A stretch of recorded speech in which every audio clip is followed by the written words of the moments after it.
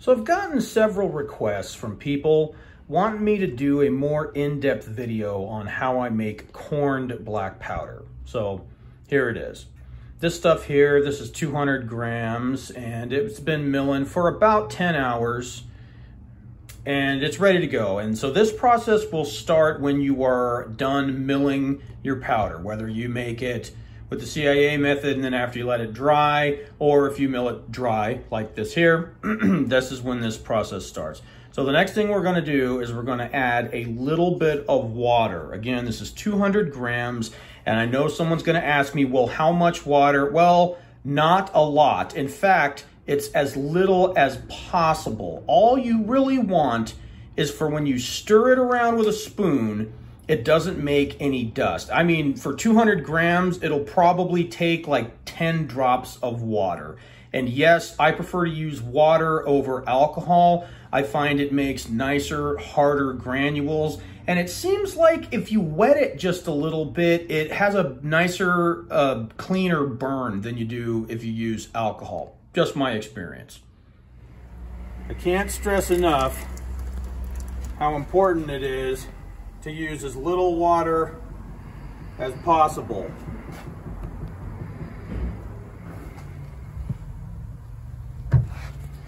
It's really easy to overdo it. So I put a few drops in. I stir it around. And there's still dust coming up, which means it needs a little bit more water.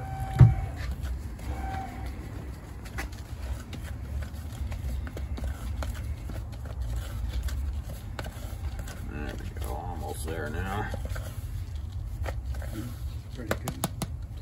Just until it stops making dust when you move it around to find is all you really need. Down right there. It's really easy to use too much water. So, here's our pucking die. I get a lot of questions about this too. You can buy them, but a friend of mine made this one for me. So, if you really want to get scientific, you should weigh out each amount. That way you get an equal amount of compression and so on and so forth. Typically, I do about one big heaping spoonful right in there.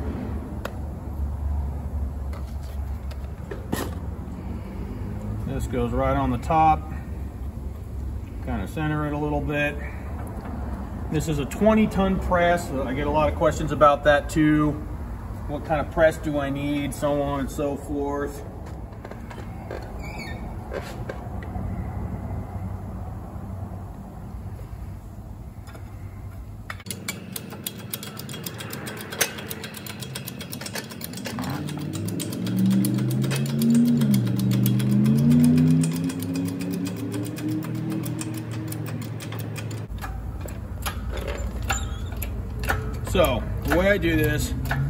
Press it all the way down until it stops. And then I just leave it here for a little while, like, you know, count to 20 or something like that. And then after I count to 10 or 20 or whatever number that I can count to, I come back up here and I just give it a little bit more squeeze to make sure it's as compressed as I can physically make it. And then count to 10 or something close to it.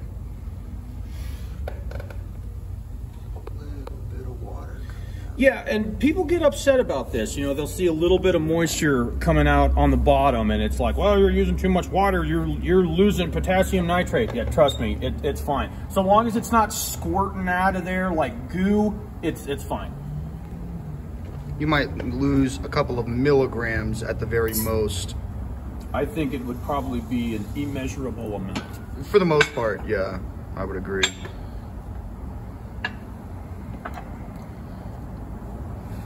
You have a little bit of moisture there, but that's okay. And now, you gotta get that out of there. So, typically, you just take that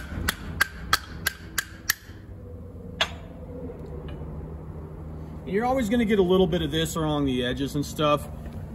Put that right on back in there. Nothing wrong with it at all. And there you have a puck. We'll do another one just for sport. Again, one heaping spoonful. Stuff off of there.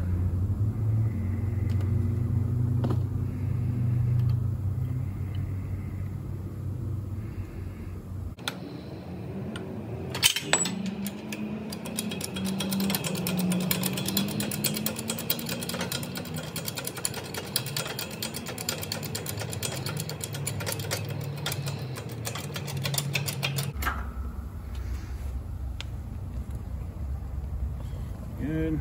wait a minute.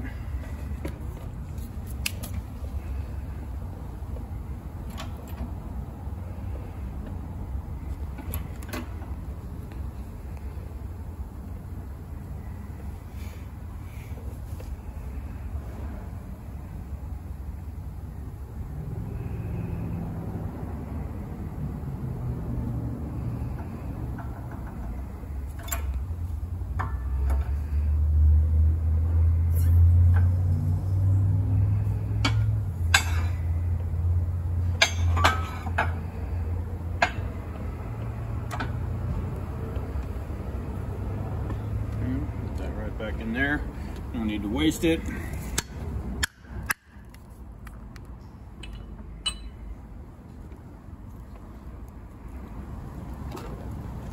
Yeah. Something that I failed to mention there was I like to let these pucks sit and dry for at least a week, and I will set them right out in the sun and just leave them there. Uh, now, I don't know about for most people's climates in the rest of the country, but out here in the Southwest, for the most part, it's pretty dry and warm most of the time. So a week usually does just fine. Pucks, typically take them like this. You could do them one at a time or whatever. I'll put a rag on top. Give them a couple of minutes. Break them into more manageable pieces. And then we put them right into our handy dandy grain grinder. Now, I'm sure I'm gonna get a lecture from somebody about this, saying how it could make a spark and spontaneously combust and you know, unravel the time-space continuum and, you know, all kinds of other bad shit. So if you're gonna use this method, be careful. How do you be careful? I don't know, don't keep your hand on it. Don't have fucking three pounds worth of powder underneath it. Small batches. We do one, one puck at a time. So even if something were to happen, it wouldn't be the end of the world. Nobody would lose any fingers or eyebrows or mustache hairs. Put your pieces in there like that crank it slowly, like so. This here is adjustable and we got it set to where we like it, where we get mostly 3F. And look at that.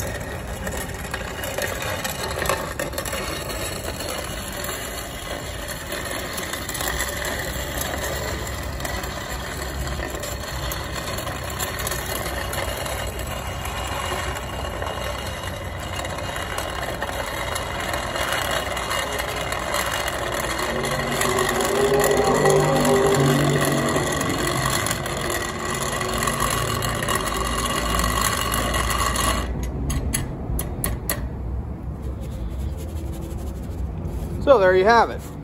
Now you'll get different sizes and so the next thing you do is to take a screen and sort it all by size. Okay, so I get a lot of questions too about what screens. It pretty much depends on what it is that you like. Uh, I have a whole variety of screens. This here is like big, medium, and small, or 1F, 2F, and 3F. And then I use a paint strainer and I'll put the finished, all the strain powder in there and I'll move it around and you'll get all the dust off of it and it works pretty well. So, what we're gonna do here, now this is only one puck, okay? So typically you'd have a lot more. So there, you have one F. Now, you could run that back through the grinder if you wanted it all smaller than that. Typically we make one, two, and three F. then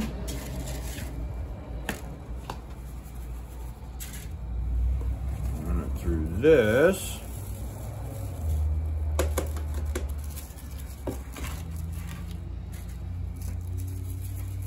Now, I have had some people ask me, uh, how much yield do you get? You know, how, how much loss do you get uh, by doing it this way? And we've done the math and it works out to be about 15. anywhere from 15 to 20%.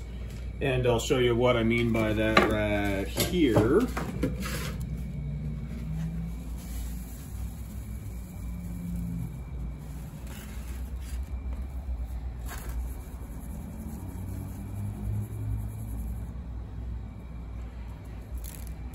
what you'll get is dust. You have some fine grains in there too, and you could uh, you could run those through a finer strainer if you wanted to, but we're trying to keep them all uniform. So,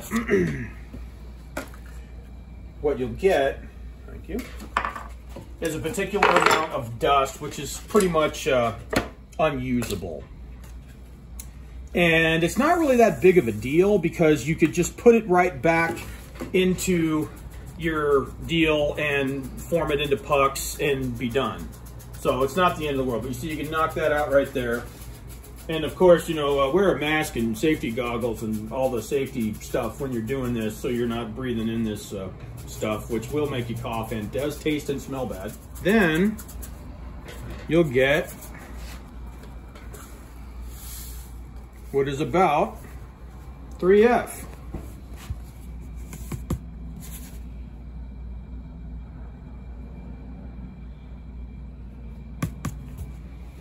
And again, you know, the dust,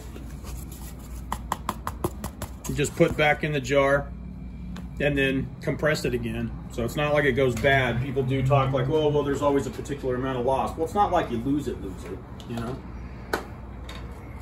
So there you know, those right there are a little bit bigger.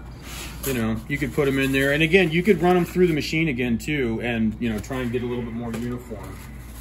You know, right there's 2F. This here is closer to 1. But we have ours set up to where we get mostly 3F. You'll get less dust if you have bigger granules. The, the, the tighter the granules or the, the tighter the machine is, the smaller your granules are, the more dust you'll get. So there. Next, what we do, we take a little bit of graphite powder. This is something I'm not really sold on yet.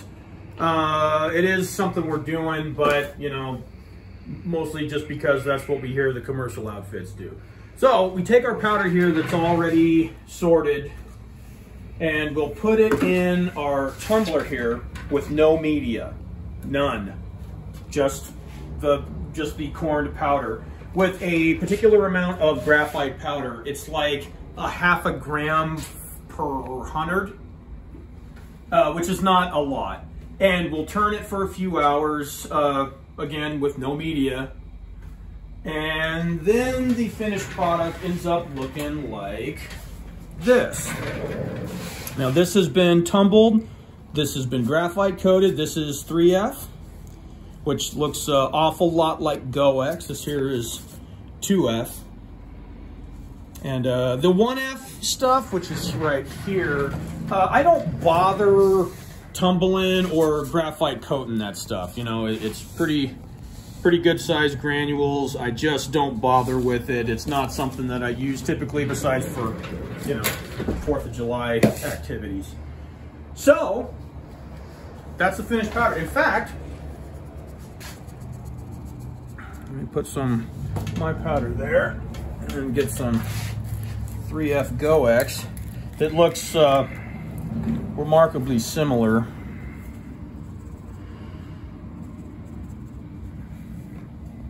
and performs very well. It outperforms GoEx. Yeah. And Schuetzen and KIK and a lot of those other ones. And like some people talk about elephant powder, some old powder that was made by an outfit called Elephant. So anyway, that's that. I hope that was helpful. Look, I'm gonna taint my stuff by putting that GoEx right in there. How, don't, terrible. don't, don't. do it? Don't. All right. For the love of God, All don't. right, I know what we'll do. Oh, we can just light it on fire.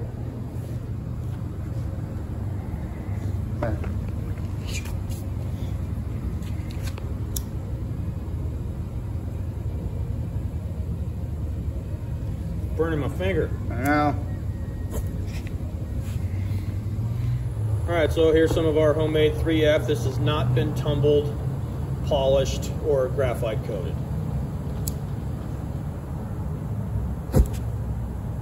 Plenty fast. Very fast. All right, so I hope that was helpful to somebody out there. Um, if you have any more questions or comments, uh, by all means, go ahead and let me know. I'll do my best to answer them.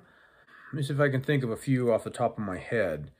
Uh, the ratio of black powder. I, I still, for the most part, use 75, 15, 10. I'm always playing around with it generally, you know, I'll, I'll up it. I, I well, okay, let, let, let me be 100% honest. I've been running more uh, potassium nitrate lately than I have in the past. I'll, I'll run probably 77, uh, 13, 10. I find that works pretty well. Uh, it just seems like it kind of leans the ratio out and makes it burn a little faster and a little hotter. So, you know, that's that. Charcoal, that's another thing I get asked a lot about. Uh, typically, I've been using Eastern Red Cedar since I pretty much started. But over the last few months, I've switched to Willow, and I've been really happy with the results.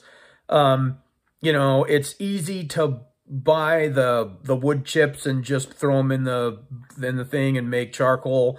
And I started, you know, going down to the riverbed and getting some uh, some willow branches and making charcoal like that. And it really does make damn fine black powder. I know I've been kind of critical of the, uh, everybody knows you have to have, you know, willow for the best charcoal. Uh, but it really does make uh, really good black powder. Uh, so uh, that's what I'm using nowadays, and I'm probably going to stick with that for some time. Uh, I, I, get people telling me all the time, you know, oh, you need to try this kind of wood for charcoal. You need to try that kind of wood. And some stuff, man, I've never even heard of some of this stuff. Um, but willow works really, really, really good. If you can't get a hold of that, you know, buy the Eastern Red Cedar, you know, chips or whatever at the pet store, whatever. That that works well too. Um, let's see what else. Up in the ratio seems to help a little bit. Um, the the the graphite thing. Uh, you know, tumbling, tumbling the powder. Uh, it, it does help. Mostly, what I think it does is it it knocks the uh the sharp edges off of those granules. And as far as it burning better, eh, I don't think so. Same thing with the graphite. You know, I, I keep saying I'm not really sold on it. Well, because I haven't noticed a difference. It doesn't make it any faster. It doesn't make it any more powerful. It doesn't make it any cleaner as far as I can tell with every test that I've run. I, I can't tell a difference. So, uh, I think that's about it. So, um, again, if anyone's got any questions, go ahead and ask me, leave me a comment. Uh, if you thought this video didn't suck, do me a favor and hit the like button and maybe consider subscribing. And if you did think it sucked, well, then go make your own damn video.